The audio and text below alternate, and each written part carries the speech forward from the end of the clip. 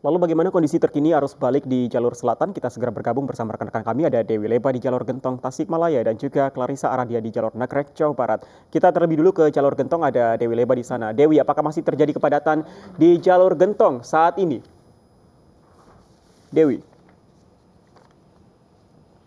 Fandi dan Syafa, empat hari usai Hari Raya Idul Fitri 1440 Hijriah. Kondisi arus balik saat ini yakni situasi lalu lintas di Tanjakan Gentong, Tasikmalaya, Jawa Barat masih dipadati oleh kendaraan yang melintas di kawasan Tanjakan Gentong ini yang memang saat ini masih menyebabkan kemacetan hingga 10 km.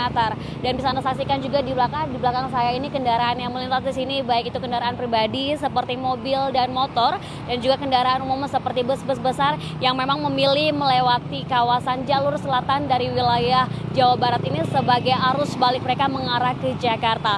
Di mana kendaraan yang melintas ini yakni kendaraan dari arah Garut yang hendak mengarah ke wilayah Bandung dan juga wilayah Jakarta.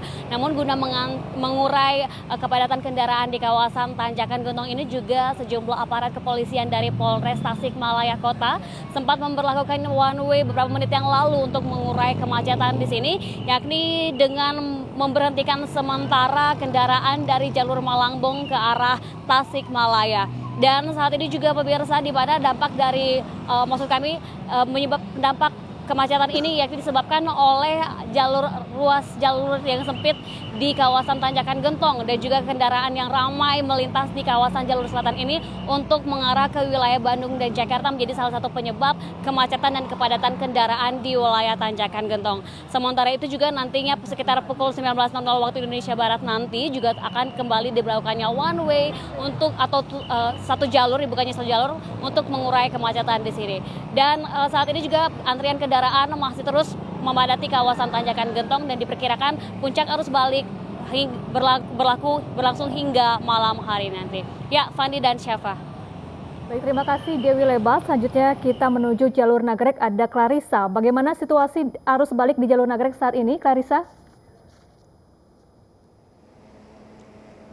Baik Fandi dan Syafa, baru saja usai pihak kepolisian menerapkan sistem satu arah. Sehingga saat ini arus lalu lintas di jalur selatan Nagrek sudah kembali lancar ataupun normal. Sepanjang hari ini pihak kepolisian telah menerapkan sistem tersebut di jalur selatan Nagrek sebanyak dua kali, yakni pada pukul 11.00 hingga pukul 12.00 dan pada pukul 14.00 hingga pukul 16.30 waktu Indonesia bagian Barat. Pemberlakuan sistem tersebut dilakukan karena sudah melihat kepadatan arus lalu lintas di arus balik tahun 2019 ini kepadatan sudah mulai nampak di sejumlah titik, antara lain adalah di Pasar Limbangan. Untuk ekor kepadatannya pun sudah mencapai kawasan Gentong Tasikmalaya atau lebih dari 40 km. Sehingga para pemudik dengan tujuan Bandung dan juga Jakarta pun terjebak kemacetan hingga lebih dari 6 jam untuk menuju ke kawasan Nagrek ataupun juga sekitarnya. Pihak dari kepolisian pun juga menghimbau masyarakat untuk menggunakan sejumlah rute alternatif Antara adalah Cikijing untuk menuju ke kawasan Cipali dan juga kawasan Singaparna untuk mencapai ke Garut Kota. Dari kawasan Garut Kota untuk mencapai ke kawasan Bandung pun juga para pemudik bisa menggunakan lajur alternatif yakni jalur jalur Cijapati. Sementara itu juga adanya kepadatan arus kendaraan bukan hanya akibat arus balik saja, namun juga dikarenakan sudah dimulainya aktivitas di sejumlah pasar tradisional.